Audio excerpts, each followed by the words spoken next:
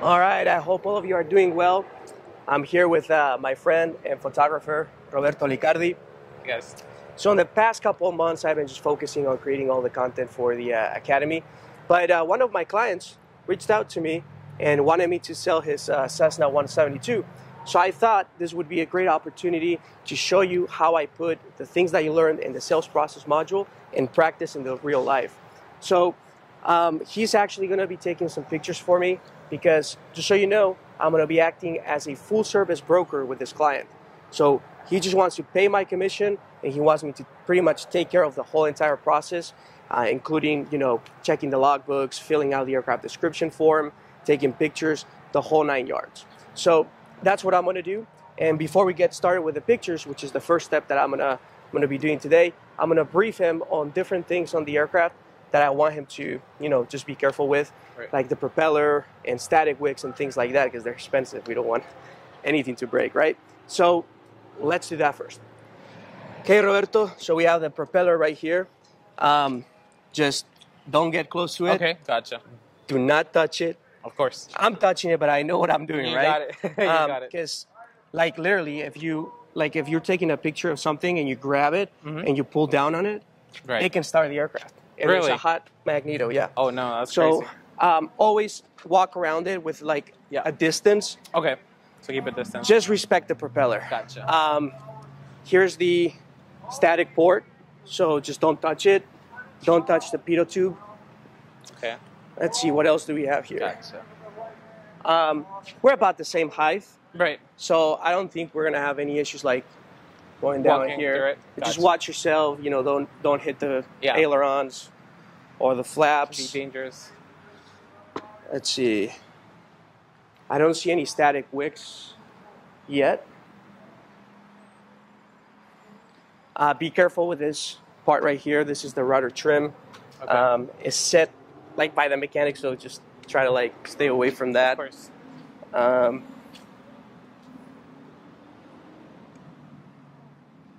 careful with the antennas too. Like if you're taking a picture or something, just don't Uh-huh. don't, even- grab it or Gotcha.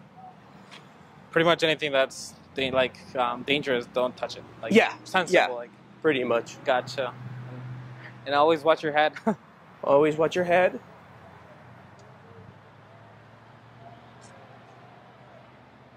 gotcha. That's pretty much it.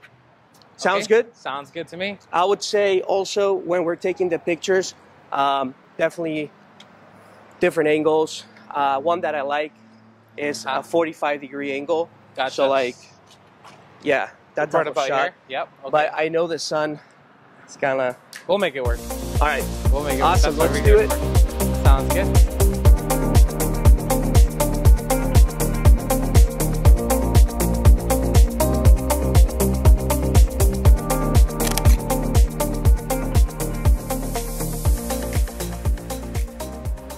One very important thing that I want you to remember is as you can see, the airplane is outside right now, and I pulled it out. This particular client trusts me to handle his airplane, pull it out, you know, push it back in, that kind of stuff. When you're starting out, do not do that. The reason why he trusts me is because I have experience doing these things. I was a mechanic and blah blah blah. You know how it goes.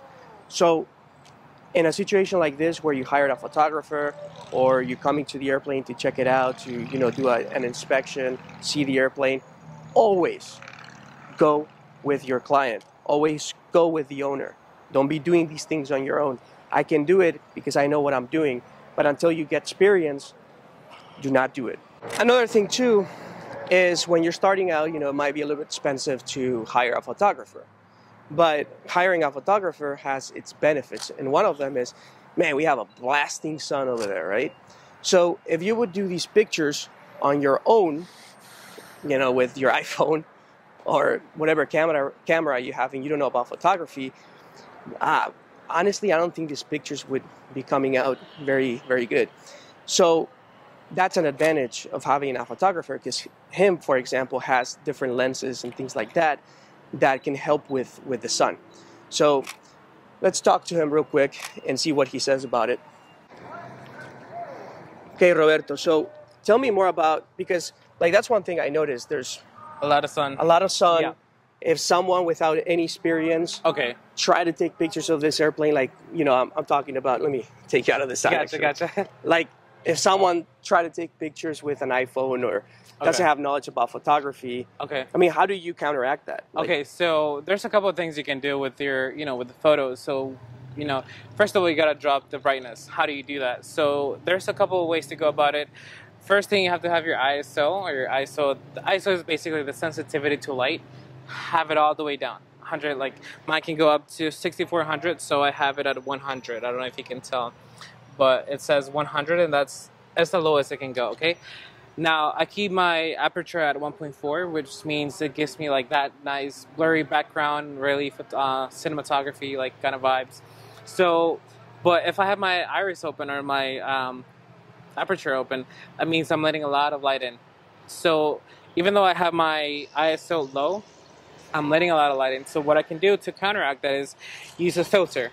Okay, so this is called an ND filter, and it's a neutral density filter. So I I put it on right, and now now I'm gonna have a darker image just because I have like a kind of think of a glasses, sunglasses, basically for the camera.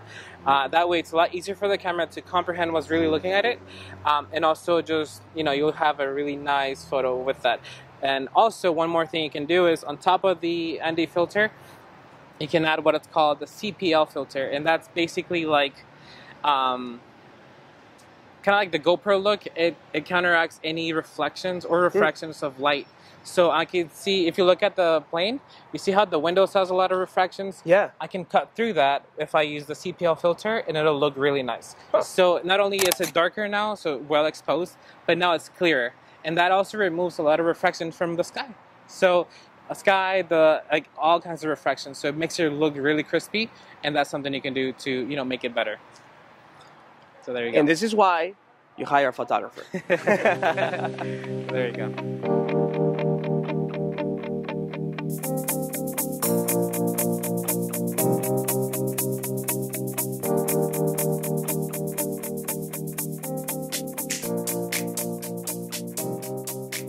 Some of the tips I would recommend, you know, regardless if you're a photographer or not, um, you know, make sure when you're taking the photos to not show your shadow, because obviously that becomes really messy, and you don't want to be editing or showing like a and part of my, my language is like half-assed, you know, job. You know, just make sure it's very clean, very crisp.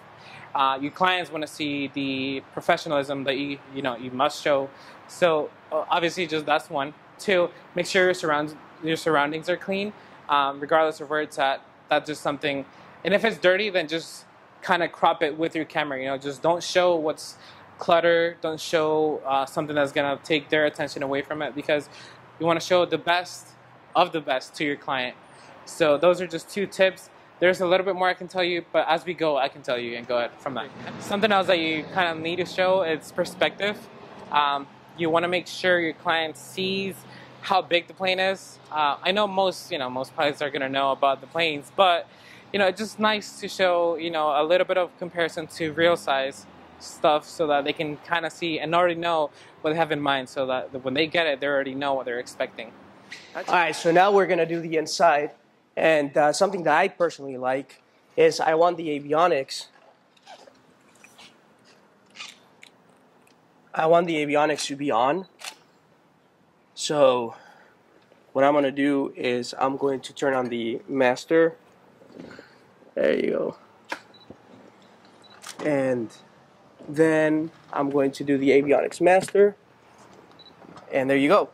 So that's gonna look a lot better in the pictures.